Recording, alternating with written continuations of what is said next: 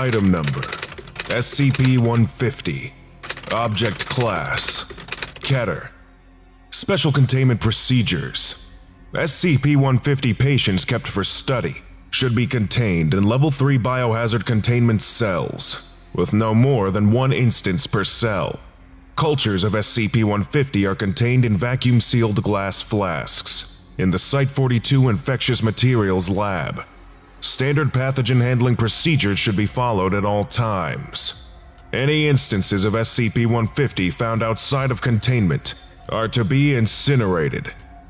Description SCP-150 is an obligate parasite that resembles the tongue-eating louse, Cymothoa exigua, but is adapted to form conjunctive symbiotic relationships with humans for a period of its lifespan. Upon contact with a human subject, SCP-150 embeds itself deeply in the flesh of its host. Over the course of approximately seven days, the parasite will burrow into the host and affect numerous physiological alterations. The most glaring alteration is the gradual conversion of the limb nearest the infection site into a chitinous appendage. As SCP-150 consumes the host's flesh, it excretes tissue that replaces and augments the functionality of the host's limb without causing transplant rejection. It is suspected that SCP-150 is able to secrete anesthetic and immunosuppressant substances to prevent the host's body from responding to the change. Furthermore, the nervous tissue excreted by SCP-150 is able to interface with the host's nervous system. By the time the process is complete, the host will be able to control the affected limb with no loss in mobility, and often with improved strength, reflexes, and resilience. For a period of one to two weeks, SCP-150 will reproduce, feeding on nutrients from and depositing eggs into assimilated blood vessels. It is hypothesized that SCP-150 can self-fertilize. The eggs are deposited throughout the human body via the bloodstream, while the vast majority of them die off. Enough survive to begin colonizing and altering the rest of the host's body. Though subjects report discomfort and occasional loss of motor control during this process, they often will not recognize the cause of said discomfort. It is still unclear why the offspring do not compete with each other for space or resources nor how the assimilation process leaves the body's cell signaling mechanisms and processes unaffected. SCP-150 reproduces during this assimilation process, as the lungs are assimilated. More eggs are produced and spread by the patient's coughing. Although as many as 10,000 eggs may be produced during this time, it is estimated that only 1% of them find their way into another host, of which 1% survive the host's immune response and implant successfully. Although SCP-150 inevitably results in the assimilation and alteration of the central nervous system, including the spinal cord and brain, the host's consciousness and behavior are seemingly unaffected.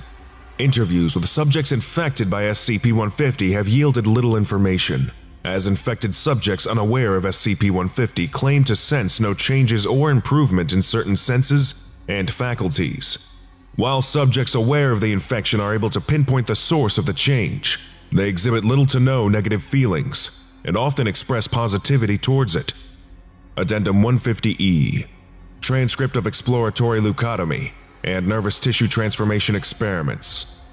Two D-class subjects, D13732 and D016002, were infected with SCP-150 and allowed to progress through all stages of the infection. In order to examine the full effect of the infection, exploratory neurosurgeries were performed on both subjects. D13732 was euthanized. His nervous tissue was found to have been entirely replaced by smaller instances of SCP-150. The instances comprising his brain matter were extracted and stored for experimentation on D016002. The following decompressive craniotomy and leucotomy were performed by Dr. Harlan Sun, Dr. Wendy Robin, and Dr. Alex Harlow on D016002. A full transcript follows. Begin log 2143. D016002 is partially anesthetized to numb her during the initial drilling of the skull. The process is uneventful though Harlow reports expecting less resistance from the skull while drilling into and cutting a flap from it.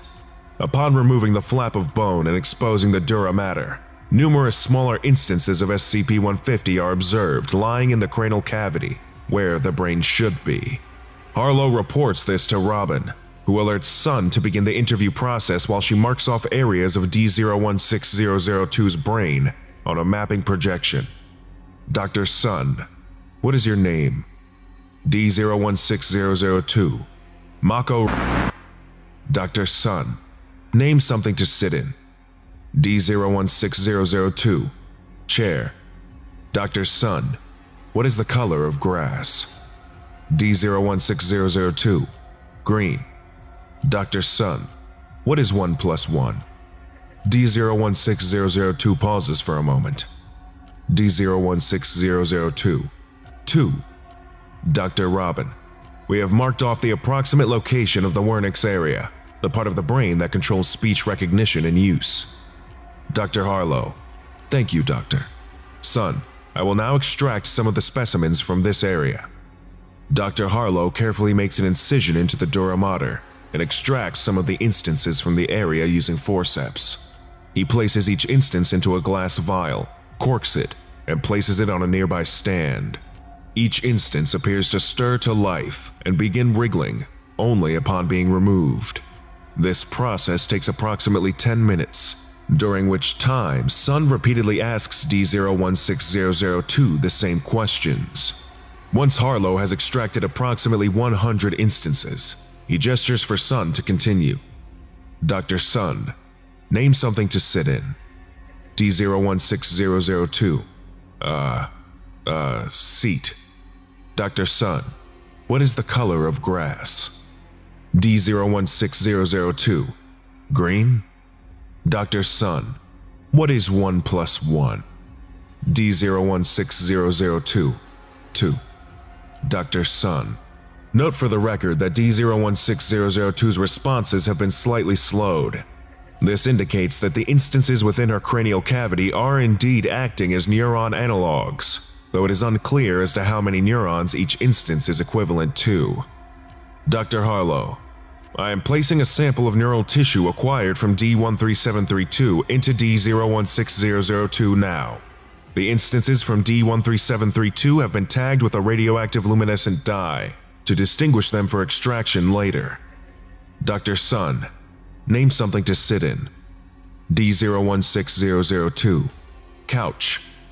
Dr. Sun, what is the color of grass? D016002. Blue. Dr. Sun, what is 1 plus 1? D016002. 2. Dr. Sun, what is 10 times 11? D016002, 111. Dr. Sun, D016002's responses have returned to normal speed. This suggests that it is possible for 150 nervous tissue to be swapped freely between host individuals without rejection. We will now begin the final procedure. D016002, you will be given a full general anesthetic. D016002 is subjected to a general anesthetic which takes several seconds to begin. Dr. Sun, the patient is now under full anesthesia. Dr. Harlow, you may begin the process of tissue extraction. For this final procedure, we will be attempting to completely replace the brain tissue of D016002 with that of D13732.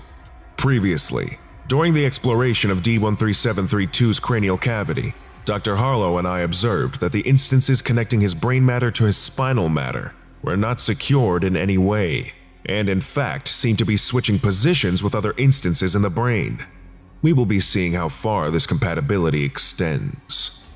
There is silence for the next hour as doctors Harlow, Sun, and Robin remove the top of D016002's skull and begin extracting her brain matter into a large glass container. Dr. Sun, extraction complete. D016002's brain matter has been successfully removed. Dr. Harlow is now placing D13732's brain matter into D016002's exposed cranial cavity. Silence for several minutes. Dr. Robin, heart rate steady. We have a pulse and breathing. Give it another minute. All right, I'm going to wake her up. There is a pause as Dr. Robin reduces the anesthesia, and D016002 awakens. Dr. Sun, what is your name? D016002. Michael. Dr. Harlow, faintly heard in background. Jesus. Dr. Sun, name something to sit in. D016002. Beanbags. Dr. Sun, what is the color of grass? D016002. Green. Dr. Sun, what is 1 plus 1? Quiet sloshing can be detected by the microphone. Dr. Robin, hey, uh, Sun? D016002. 2. Dr. Robin, Sun, look. D016002's brain is shown to move of its own accord, subtly moving back and forth. Dr. Harlow, well, that's new. Dr. Sun, do you feel any pain anywhere in your body? D016002, my chest is kind of heavy. Feels just the same otherwise. Dr. Sun, good to hear. Now, what is D016002? Hey, I usually feel pretty energetic, even before surgeries, but I'm kind of tired right now. Lately, I've been exercising before I sleep, but since I can't sleep here, is it okay if I can just rest a little bit? Dr. Sun, rest. D016002, like three, five minutes. I can do that here if it's okay. A small portion of the top of D016002's brain parts before making a gurgling sound. After the portion closes, sections of D016002's brain retracts into itself rapidly. D016002's eyes close. Dr. Sun, that doesn't seem good.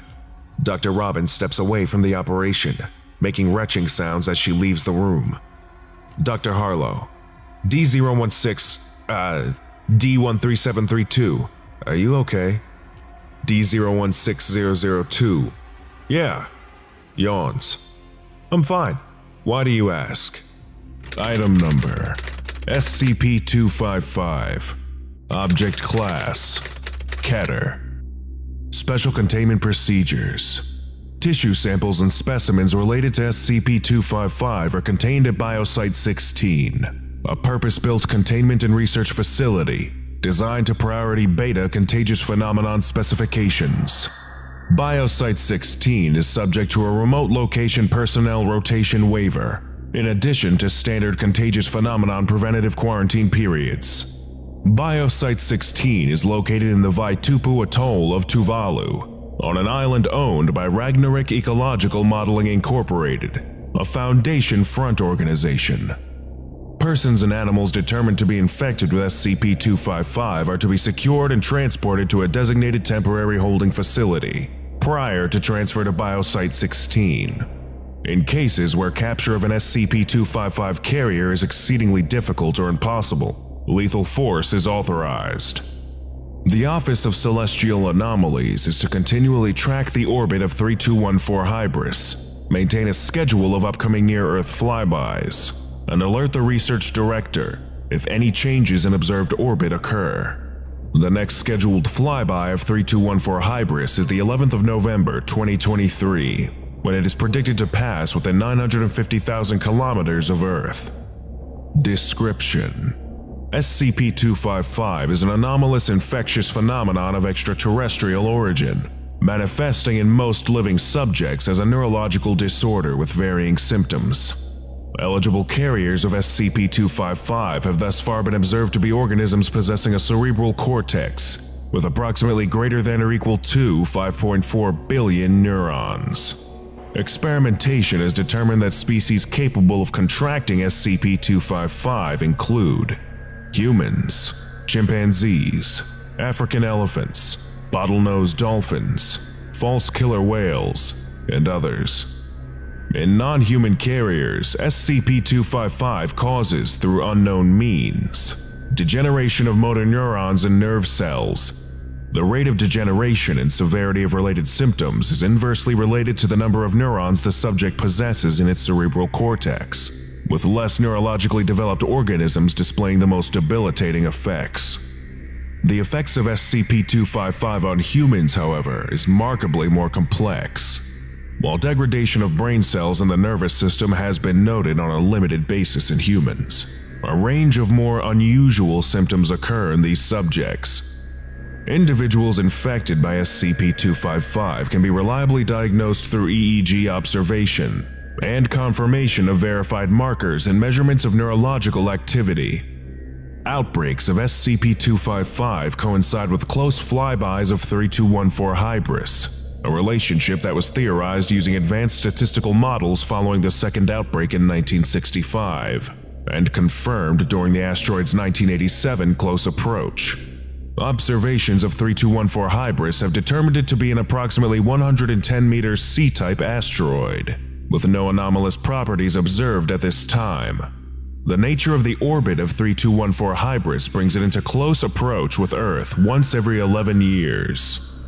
Addendum 2551 Research Log The following is a listing of known SCP-255 outbreaks and relevant data. Estimated date of outbreak 23rd of May, 1968. Location Sagaing, Myanmar. Number of confirmed human cases 86.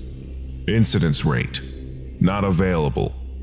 The first known outbreak of SCP-255 occurred in 1968, known now to have coincided with 3214 Hybris passing within 350,000 kilometers of Earth.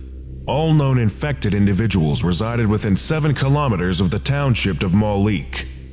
Foundation Assets became aware of SCP-255 while investigating an unknown illness affecting certain primates, including humans, in rural regions of northwestern Myanmar. The number of animals affected is unknown, but was estimated at the time to be between 1,000 and 5,000 individuals, primarily among forest-dwelling monkey species. All human instances and a representative sample of infected monkeys were brought under Foundation control, and special containment procedures enacted. In controlled laboratory conditions, animal subjects displayed advanced signs of motor neuron impairment, with a 100% mortality rate over a period of three weeks. Human subjects displayed mild neurological impairment, comparable to that experienced after a minor stroke.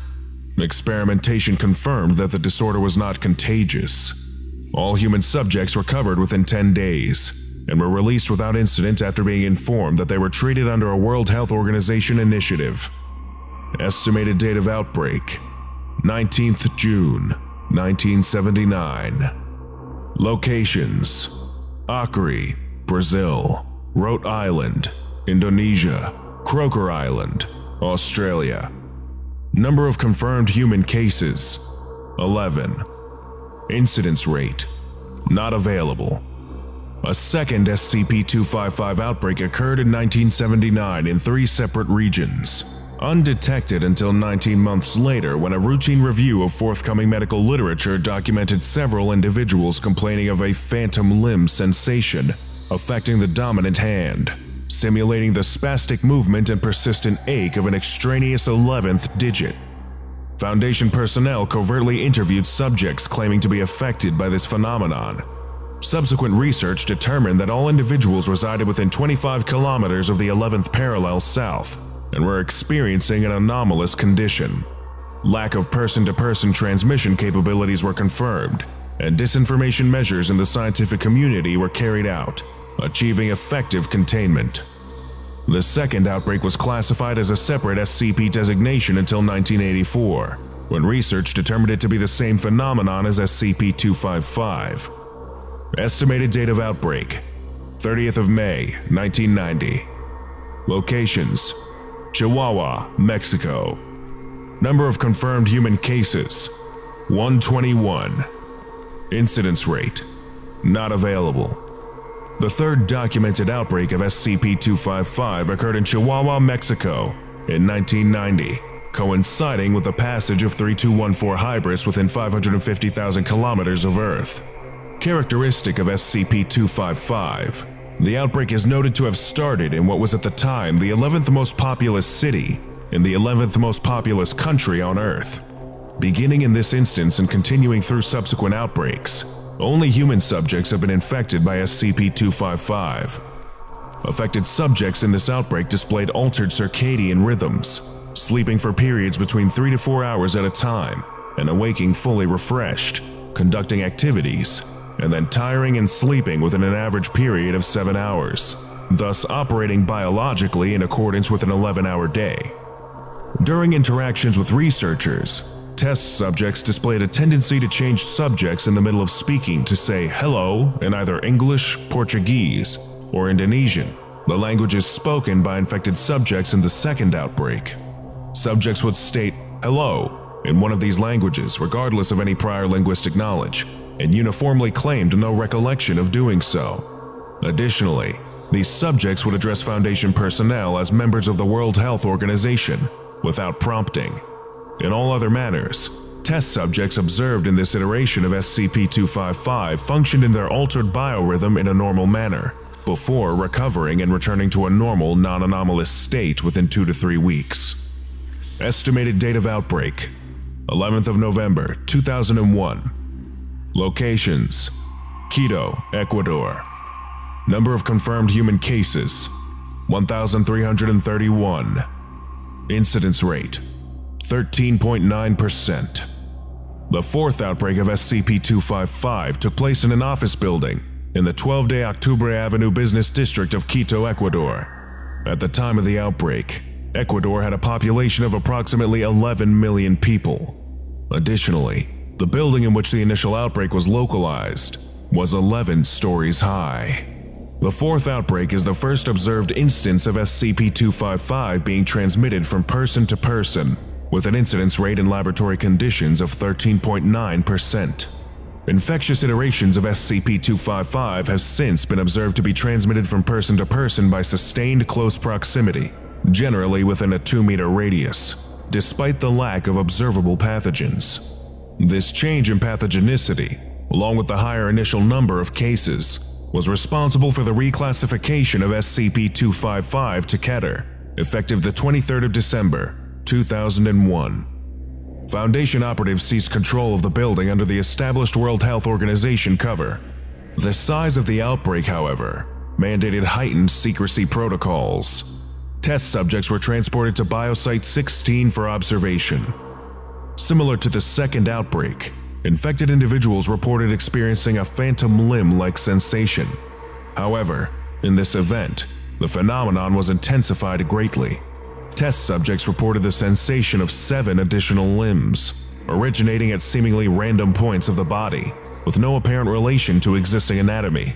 While the precise nature of the additional appendages was difficult to ascertain, infected persons reported that they felt as though they had three joints, were approximately a meter in length, and had no structure analogous to a hand or foot at the end. These limbs were apparently not subject to the painful contractions and sensations normally associated with amputees. However, subjects uniformly reported heightened distress at the sensation of seven additional limbs, moving independently of their control at most times. Additionally, test subjects lost conscious control of their left arms. At most times, subjects were unable to move their left arms. However, at 1100 hours local time each day, the left arms and hands of infected individuals would independently make motions, analogous to what appeared to be the act of writing. When supplied with pen and paper, these individuals all wrote, in crudely formed script, the numbers 11, 11, 65, theorized at the time to be the date of the next outbreak, and confirmed 11 years later. All infected individuals ceased to be affected by SCP-255 within 3 to 4 weeks. Test subjects were administered broad-spectrum amnestics and released to Ecuadorian authorities. Foundation assets within the World Health Organization disseminated disinformation related to an exotic strain of malaria and subsequent treatment efforts as part of containment efforts. Estimated date of outbreak 11th of November 2012 Locations Brussels, Belgium Number of confirmed human cases 11 Incidence rate 100%. The fifth and most recent outbreak of SCP-255 took place in Brussels, Belgium, where 11 individuals working on the 11th floor of the NATO headquarters building all complained to medical staff of constantly hearing a set of 11 electronic tones, repeating constantly. Containment protocols were activated by Western Europe sector personnel, and all infected subjects were transported to Biosite 16. Test subjects continued to complain of hearing the repetitive set of tones. Most subjects experienced heightened stress and irritability, as well as sleep deprivation. Infected individuals were administered sedatives to ameliorate secondary SCP-255 symptoms. Testing of this group of infected individuals revealed the incidence rate of SCP-255 was now 100%, ensuring that any humans exposed to the subjects would contract it. 11 days after the test subjects were secured at Biosite 16, infected individuals reported a cessation of the perceived repetitive tones. One test subject immediately reported hearing an electronic voice, similar to that generated by speech simulation software, repeating the Spanish word, Estrella. Once the subject reported the phenomenon to researchers, it immediately ceased, whereupon another of the original 11 test subjects reported a similar phenomenon. The original cluster of infected individuals appear to comprise a phrase in this manner, the constituent words of which were repeated in order for every new case of infection beyond this group. The phrase is transcribed below, translated from Spanish to English for this version of the document. Binary star lost not lost, transpose dead instruction urgent, await transmission. Upon relating to researchers this particular symptom, all test subjects ceased to display any signs of SCP-255 infection. Subjects were amnesticized per SCP-255 guidelines and released. Item Number SCP-311 Object Class Safe Special Containment Procedures Contained in High Security Item Storage Unit G78 at Sector 28 sealed to all personnel without written authorization from three level 4 or higher senior staff. Item barred for use in further research, pending O5 comprehensive review. Description SCP-311 is a pair of plain black gloves. They exhibit extreme flexibility, which allows them to fit every hand size tested. Object was recovered from a professed voodoo practitioner implicated in several suspicious murders and following the incident, the body and all the subject's belongings, including the gloves, were appropriated by the Foundation for containment and study. When worn, the gloves seem innocuous and present no danger to the wearer. Subject responds normally to trauma inflicted on any part of the body, except the hands where the gloves are worn. All trauma and sensation of any tested kind inflicted on the subject's hands is displaced to another individual, theorized to be an individual the subject is focusing on at the time. Both gloves need to be worn for this effect to occur, but the subject need not be aware of the item's properties. Test Log 311-1 Test 1C Test Subjects D238746 D892201 Stimulus Wartenberg Pinwheel Dr. Silas Alright, how do those gloves feel? D238746 Okay. Comfortable? I guess.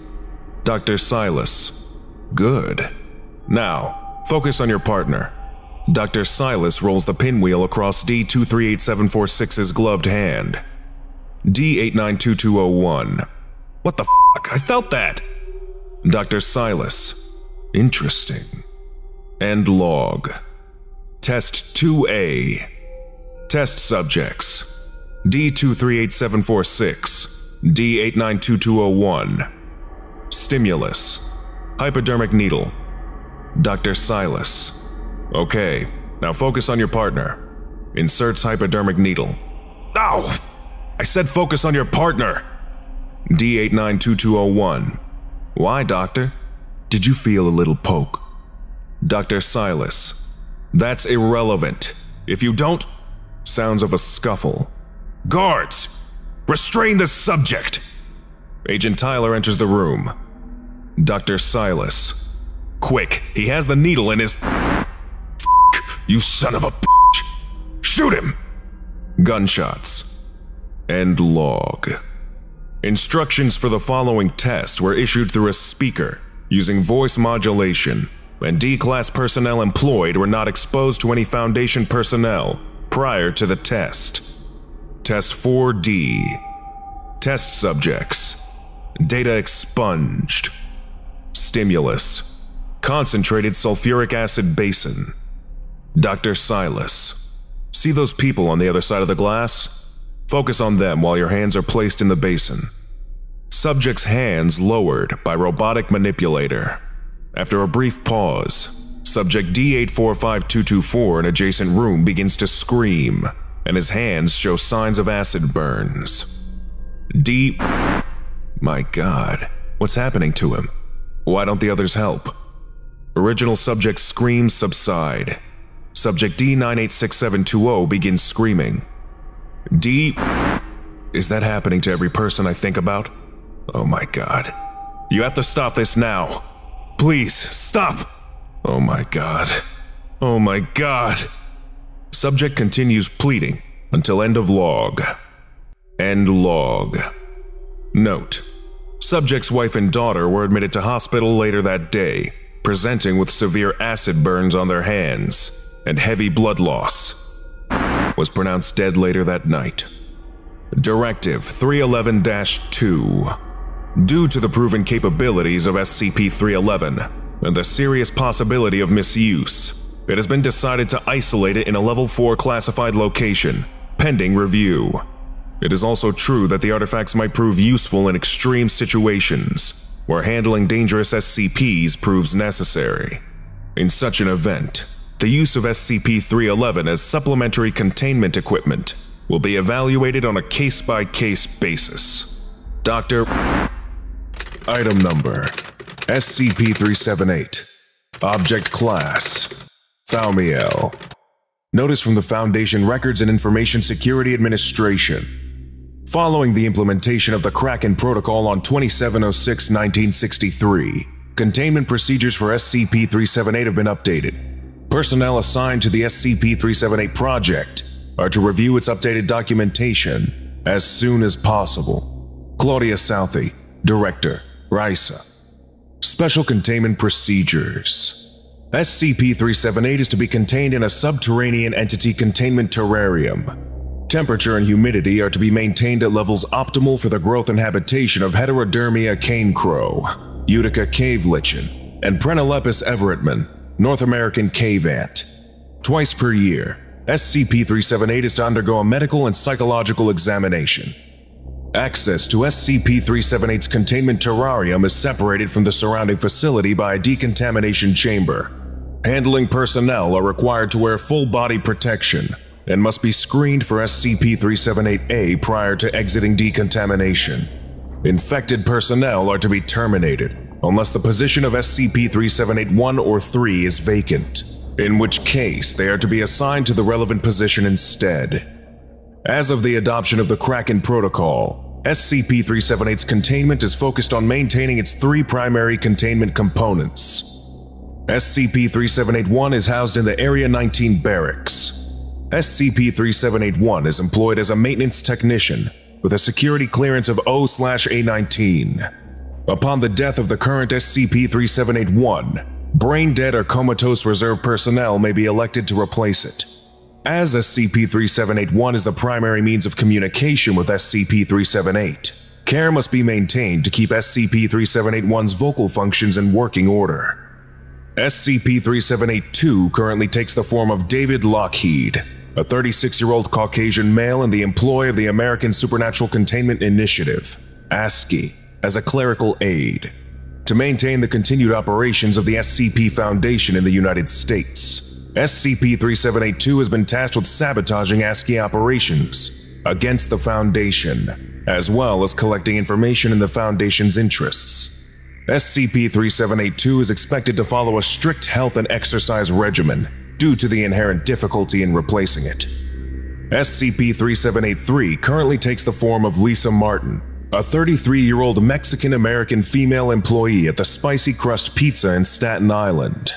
In the event of SCP 3783's death, it must be replaced as soon as possible. Each component is fitted with a tracking device and an audio recorder. Each week, embedded agents stationed near each component are to evaluate the health and integrity of each component and its associated surveillance equipment. The utilization of SCP-378-A in further infiltration is pending Foundation Overwatch approval. Description SCP-378 is an arthropod, superficially resembling a deformed larval instance of Scolopendra gigantea, the Amazonian giant centipede. SCP-378's legs are largely vestigial, primarily meant to assist in peristaltic locomotion. SCP-378 measures 3 meters from mouth to anus, with a bodily thickness of 1 meter and a weight of 233 kilograms. Under normal conditions, SCP-378 is an omnivore, with a diet consisting primarily of lichen and insects. SCP-378 is capable of asexual reproduction at will, producing instances of SCP-378-A from its anus. Instances of SCP-378-A resemble adult Scolopendra gigantea. Dissection suggests this resemblance is superficial, as SCP-378-A lack expected organ systems beyond a primitive neural network. Instances of SCP-378-A are controlled remotely by SCP-378. SCP-378-A are obligate endoparasites, infecting advanced primates such as humans, Homo ignotus, Data expunged, and Gigantopithecus sapiens, common Sasquatch. Upon infection, SCP-378-A integrates itself with its host's nervous system through poorly understood means, inducing brain death and extending SCP-378's remote control to the host itself. Vital functions and sensory input remain unaffected. Upon infecting a suitable host, SCP-378 will attempt to reintegrate its hosts into their respective species' social sphere. Once integrated, SCP-378 directs its hosts to indefinitely engage in the behaviors typical for its species, such as communal labor and social recreation. Human hosts prefer environments with a high population density and a robust entertainment scene. The upper limit of active hosts SCP-378 can maintain at any one time is unknown. Upon initial interrogation, SCP-378 confessed to the existence of 26 human hosts, as well as two instances of Alouatta pigra, Guatemalan black howler, and three instances of SCP-1000, of which it noted had been acquired during a period of heavy intoxication. Addendum 178-294-B a psychological evaluation of SCP-378, conducted by Dr. Simon Glass. Tentatively designated Scolopendra anomalia, SCP-378 is unique among arthropods, possessing either human levels of sapience or the ability to emulate its host's intellectual faculties. In any case, SCP-378 is self-aware and remarkably intelligent. SCP-378's relationship to its hosts is complicated. While SCP-378 maintains a consistent sense of identity across multiple hosts, each is treated as a persona for SCP-378 to roleplay. Hosts rarely interact with SCP-378 or fellow hosts, suggesting SCP-378 primarily utilizes its anomalous abilities for entertainment. This is further suggested by SCP-378's readiness to abandon such personas under duress. Aside from integration into human social spheres, host behavior is largely unique to each instance. Extroversion is relatively common. Hosts rarely isolate themselves except to sleep or excrete. SCP-378 appears to take equal enthusiasm in stressful versus pleasant situations. Of note, SCP-378 is particularly attached to the identity of Lisa Martin. In contrast to other hosts, Lisa Martin's weekly routine is relatively static. From 8 a.m. to 6 p.m. on all days except Saturday, Miss Martin will show up to work at the nearest pizzeria from the former location of Digian Antonio's Pies, regardless of employment status or scheduled hours. From 6 p.m. to 11 p.m. on all days except Saturday, Miss Martin will engage in the maintenance of one of 17 rooftop gardens across the city of New York. Of these, 13 are maintained by a cooperative, 12 of which Miss Martin is not a part of. From 8 a.m. to 11 p.m. on Saturdays, Miss Martin alternates between socializing with a collection of friends, co-workers, and lovers, and playing piano for various high-end bars. From 11 p.m. to 12 a.m., Miss Martin will shower and prepare for bed. Miss Martin will sleep from 12 a.m. to 7 a.m., when she will wake up and prepare for the next cycle. In the event of Miss Martin's death, SCP-378 will direct another host to assume her identity. Attempts to interrupt Miss Martin's routine have been unilaterally met with unusual levels of hostility from SCP-378 and its hosts. From Assistant Director Daniela Hayden, Classification Level RAISA 4, Employee number 134. 2. Director Kelsey Feinstein, classification level XK4. Employee number 87. Regarding, regarding, regarding, regarding. Identifying current hosts. Date 2704 1963. Director Feinstein.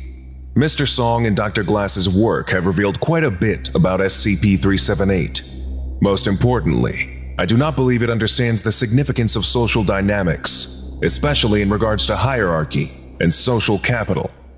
Several of SCP-378's identities held surprising positions of power. Indeed, two of them, David Lockheed and Alfonso Leoz, are beyond reach of the Foundation's current capacity to contain. Despite this, SCP-378 has shown a willingness to sacrifice such hosts in order to defend replace, or otherwise maintain Lisa Martin. Odd, yes, but useful enough. It'd be a shame if something were to happen to Miss Martin and her friends, would it not? SCP-378 is sapient, but it by no means understands the significance of its actions. With a little bit of persuasion, David Lockheed might yet ascend from petty paper pusher for the ASCII, right where the Foundation most needs a puppet. And if I'm not mistaken, Spicy Crust Pizza can always do with a second franchise. Proposal Employing SCP 378's anomalous abilities to defend Foundation operations in the United States. Council vote summary Approved. Proposal accepted. The Kraken Protocol has been initiated. From Senior Researcher Sang-Hun Song, Classification Level Gamma U3. Employee number 148. 2. Director Kelsey Feinstein. Classification level XK4. Employee number 87. Regarding Delays in the Gamma U2677 project. Date 2107 1965. So, good news and bad news, Director. Good news, as I'm assuming you already heard. With the plans for construction of Site 56, all thanks to a certain Mr. Lockheed, the Kraken Protocol's getting a much needed expansion. With its relative proximity to both the Lily of the Valley Nexus and the Pacific Northwest, it's a perfect opportunity to expand the scope of SCP-1000's containment, while ensuring the ASCII doesn't suck LOTV dry before we get to it. For all its oddities, SCP-378 appears to be delighted at the prospect of a change in scenery. I can't imagine a tropical centipede grub likes having a sphere of influence limited to New England of all places, but that's besides the point. Its A was compliant enough on the way there. Which leads me to the bad news. Rupert Tremont's a fun little guy. Agent of the FBI's unofficial Unusual Incidents Unit, and all too stupid to trust Agent Ryans with his drink while he went to the restroom. After that, it's a matter of transport back to Provisional Area 56 in Black Rock and a centipede down the gullet. Problem comes up when 378 tells us it can't establish a connection. Now, Tremont's still alive, so that's not normal. We run a number of tests, try to figure out what went wrong. And that's when we see a different centipede in his head, where our centipede usually goes. More to come, but I have a bad feeling about this.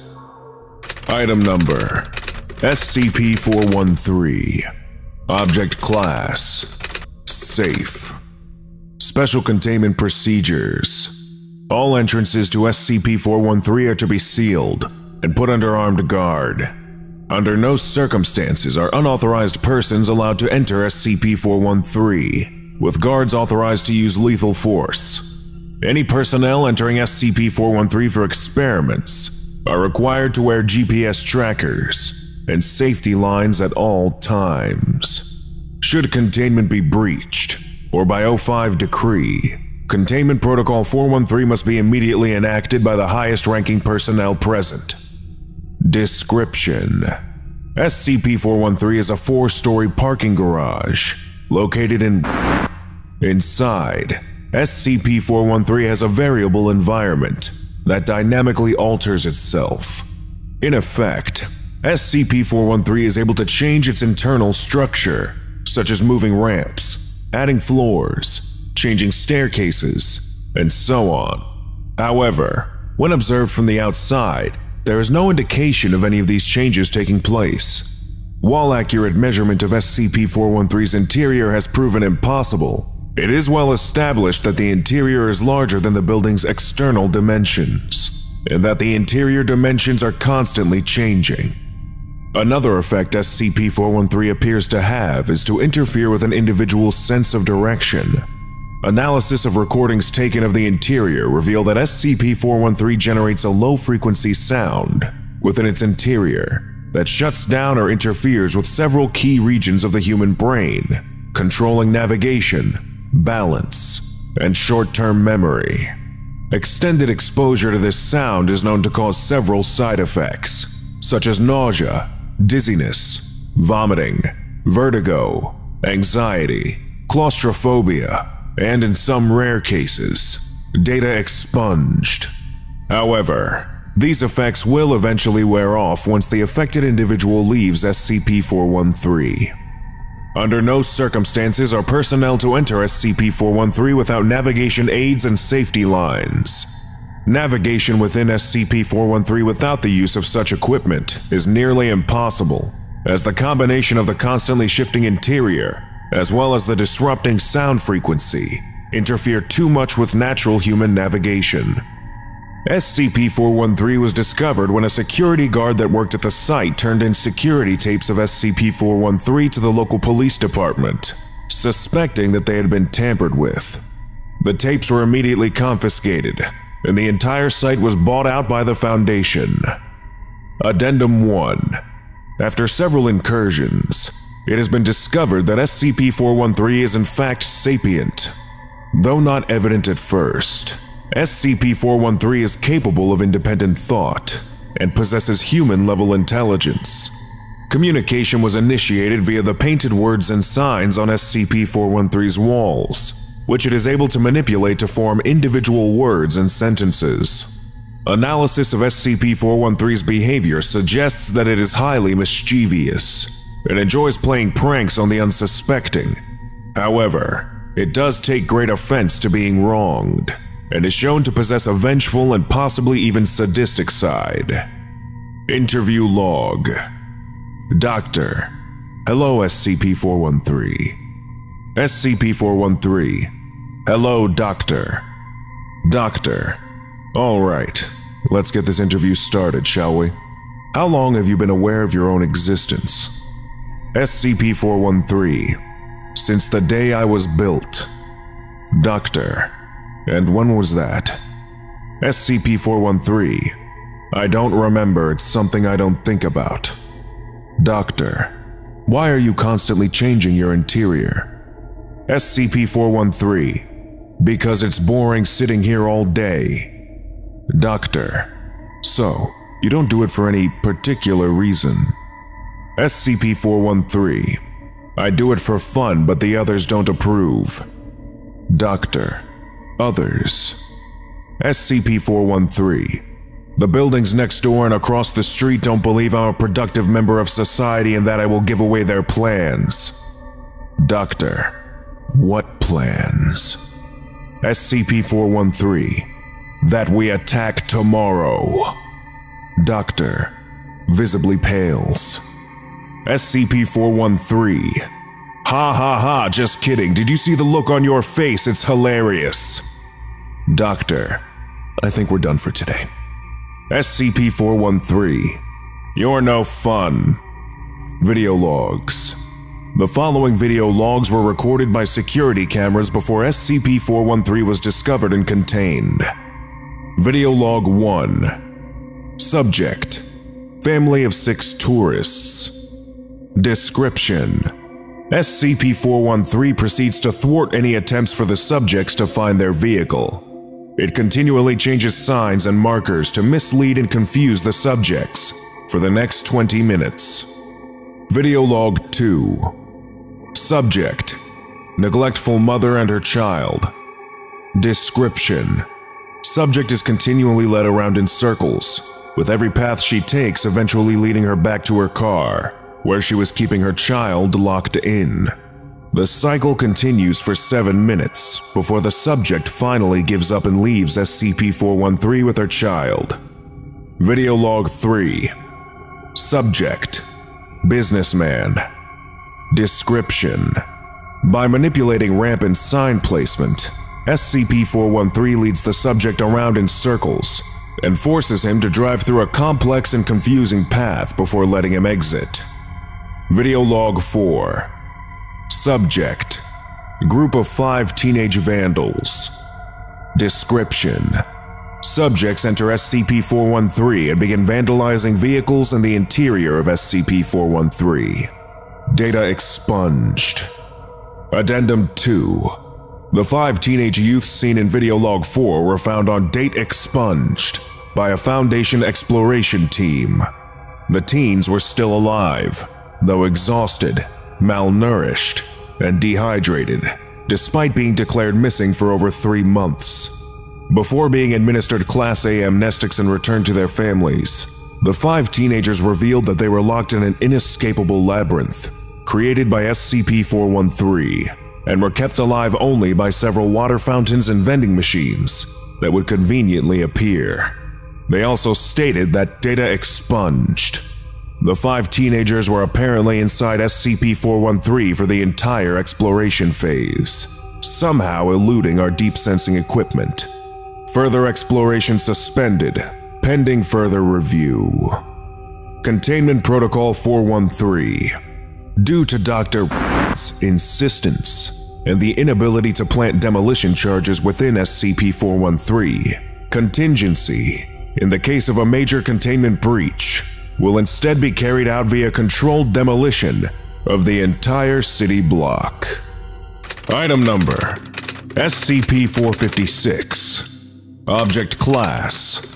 Safe. Special Containment Procedures. The SCP 456 colony is to be kept in a sealed containment room. Personnel entering the containment area should wear level 1 biohazard suits to avoid being bitten by SCP 456 and the suits must be treated with insecticide upon leaving the enclosure. When not being used in experiments, SCP-456 must be fed 70 milliliters of human or animal blood per 100 insects, weekly. Description SCP-456 is a variety of the common bedbug.